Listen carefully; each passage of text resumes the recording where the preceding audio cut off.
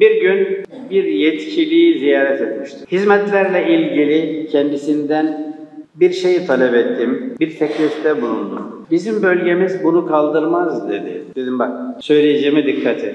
Bir babanın bir tane çocuğu vardır. İkinci çocuk doğduğu zaman ikinci çocuk birinci çocuğun rızkını yemez. İkinci çocuğun rızkını Allah ayrı gönderir. Üçüncü çocuk doğduğu zaman üçüncü çocuk birinci ve ikinci çocuğun rızkını yemez. Onun rızkı ayrıdır. Kimse kimsenin rızkını yemez. Esnaf kardeşlerim cadde üzerine bir dükkan açtı. Ne dükkanıdır? Mesela bir dükkan açtı. X. Aynı cinsten birisi yakın bir yerde dükkan açıyor. Sen nasıl gelirsin buraya? Benim ekmeğimi nasıl oynarsın? Ya kimse kimsenin ekmeğiyle oynayamaz. Korkma sen. Herkesin rızkı ayrıdır. Allah sana göndereceği müşteriyi ayrı yapmış. Onunki ayrıdır. Ona gidecek olan sana gelmez, sana gelecek olan ona gitmez. Buna böyle iman et. Hasetlik yapmaya gerek yok. Fesatlık yapmaya gerek yok. Çekememezliğe gerek yok. Senin rızka ihtiyacı varsa o insanın da rızka ihtiyacı vardır. Böyle görmek lazım.